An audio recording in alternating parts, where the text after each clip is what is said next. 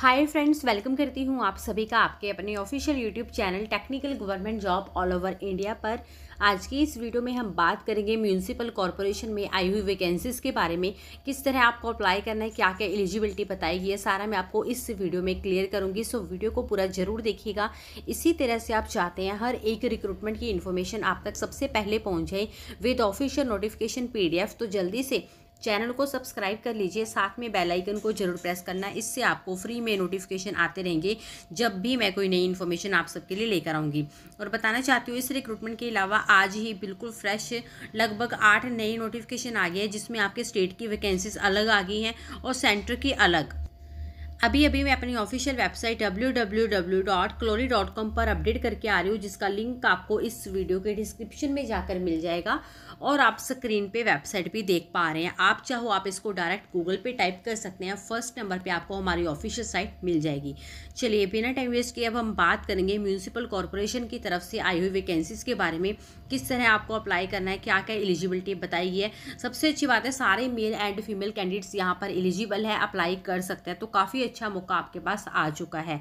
और यहाँ पर एज लिमिट जो है, वो कम से कम अठारह मैक्सिमम चालीस प्लस रिलैक्सेशन है। वो अलग अलग पोस्ट और अलग अलग क्वालिफिकेशन वाइज है। टोटल जो है, सत्रह तरह की वैकेंसीज आउट हुई है। हम चलते हैं ऑफिशियल नोटिफिकेशन के ऊपर। उससे पहले एक इंपॉर्टेंट बात एग्ज़ाम को क्रैक करने के लिए टेस्ट और उनका एनालिसिस बहुत इंपॉर्टेंट है। मिस मत कीजिए अन अकेडमी की फ्री टेस्ट सीरीज़ ट्रियम्फ अगर आपने एनरोल नहीं किया है तो अभी करें पाँच नवंबर को आईयूपीएस क्लर्क प्री का इंग्लिश का टेस्ट अटैम्प्ट करें। लाइव आपको उसकी परफॉर्मेंस रिपोर्ट भी मिलेगी और इसका एनालिसिस लेंगे अन अकेडमी की टॉप एजुकेटर निमिशा बंसल। बिल्कुल फ्री में लिंक आपको डिस्क्रिप्शन में मिल जाएगा। जल्दी से एनरोल कर लीजिए, सारे एग्ज़ाम्स और बेहतर करें। अपनी प्रेपरेशन तो फ्रेंड्स आप देख सकते हैं, हमने ऑफिशियल नोटिफिकेशन डाउनलोड कर लिया है। इसमें सबसे पहले देखिए कौन कौन एलिजिबल है। ऑल मेल एंड फीमेल दोनों ही अप्लाई कर सकते हैं। तो काफ़ी अच्छा मौका आपके पास आ चुका है। उसके बाद बात करेंगे हम एप्लीकेशन फ़ी की। एप्लीकेशन फ़ी यहाँ पर देखो, इन्होंने बता दिया है जर्नल ओबीसी के लिए।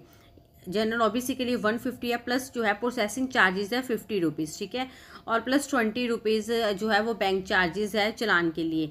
उसके बाद S C S T physically handicapped के लिए प्रोसेसिंग चार्जेस इन्होंने सिर्फ़ पे करने हैं फिफ्टी प्लस ट्वेंटी रुपीज़ जो है वो चलान डिपॉजिट के लिए, ठीक है? तो ये नॉन रिफंडेबल एप्लीकेशन फ़ी रहेगी। सारे मेल फीमेल यहाँ पर एलिजिबल है अप्लाई कर सकते हैं। जैसे कि मैंने आपको स्टार्टिंग में बताया, यहाँ पे सत्रह तरह की वैकेंसीज है। हर क्वालिफिकेशन के हिसाब से वैकेंसीज है। हम सत्रह से ही स्टार्ट करते हैं। सबसे पहले पोस्ट है कैशियर की ये दो पोस्ट हैं। इसमें लेवल सिक्स इन पे मैट्रिक्स आपका रहेगा। इस क्वालि इस वाली पोस्ट के लिए अगर आपने ग्रेजुएशन की हुई है कॉमर्स में, यानी अगर आपने बीकॉम की हुई है फिफ्टी परसेंट मार्क्स के साथ और आपके पास कंप्यूटर नॉलेज है, आप अप्लाई कर सकते हैं। एज लिमिट इसके लिए भी अट्ठारह से चालीस साल है। सत्रह तरह की वैकेंसीज है, सब के लिए अलग अलग क्वालिफिकेशन है। और नेक्स्ट जो पोस्ट है ट्वेल्थ पास के लिए है। असिस्टेंट ग्रेड टू की पोस्ट है थर्टी टू टोटल वैकेंसीज है। इसमें भी सेम पैकेज है। उसके बाद इसमें आपने ट्वेल्थ पास की हुई है फिफ्टी फाइव परसेंट मार्क्स के साथ, या उसके इक्वल कोई क्वालिफिकेशन है, या आपने ग्रेजुएशन डिग्री की है, वो भी अप्लाई कर सकते हैं।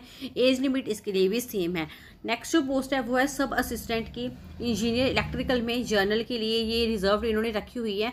डिप्लोमा इन इलेक्ट्रिकल इंजीनियरिंग में अगर आपने किया है तो आप अप्लाई कर सकते हैं। नेक्स्ट जो पोस्ट है सब असिस्टेंट इंजीनियर सिविल की है। ऑब्वियसली इसमें अगर आपने डिग्री सिविल में किया है तो आप अप्लाई कर सकते हैं। तो काफ़ी अच्छा मौका है।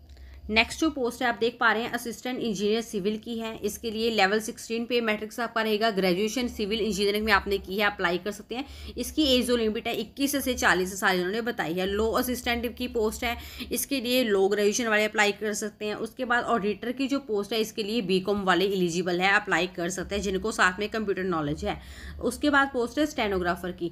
इसके लिए अगर आपने ग्रेजुएशन की हुई है इंग्लिश में विथ फिफ्टी मार्क्स के साथ तो आप अप्लाई कर सकते हैं। नेक्स्ट जो पोस्ट है कमर्शियल इंस्पेक्टर की है, इसके लिए भी ग्रेजुएशन एलिजिबल है अकाउंट्स ऑफिसर की है, इसके लिए बीकॉम वाले अप्लाई कर सकते हैं और अठारह से चालीस साल इसके लिए एज बता दी गई है।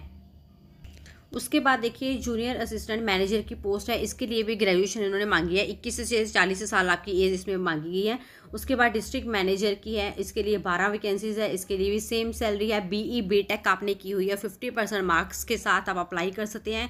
पोस्ट ग्रेजुएशन अगर आपने की हुई है एमबीए में, वो भी यहाँ पर एलिजिबल है। अप्लाई कर सकते हैं। असिस्टेंट जनरल मैनेजर के लिए भी ग्रेजुएशन और सेम क्वालिफिकेशन है यहाँ पे थर्ड के लिए भी, जो फोर्थ के लिए इन्होंने क्वालिफिकेशन मैंशन की हुई है बीई बीटेक e और पोस्ट ग्रेजुएशन ठीक है? उसके बाद डेप्टी जनरल मैनेजर की है। उसके लिए इन्होंने लेवल सेवनटीन के हिसाब से पैकेज रखा हुआ है और same qualification, same age limit इसके लिए है, इक्कीस से चालीस साल। उसके बाद फाइनेंस में है। डिप्टी जनरल मैनेजर की, इसके लिए भी सेम सैलरी है और सेम क्वालिफिकेशन है। हमारी वेबसाइट का जो लिंक है, मैंने आपको इस वीडियो के डिस्क्रिप्शन में दे दिया है। लास्ट डेट जो अप्लाई करने की है, वो है चार दिसंबर 2020 ठीक है? ये एप्लीकेशन जो आपने कंप्लीट करनी है, उसके लिए वैसे लास्ट डेट है एक दिसंबर 2020 हमारी ऑफिशियल साइट पे जाके ऑनलाइन आपने अप्लाई कर लेना है।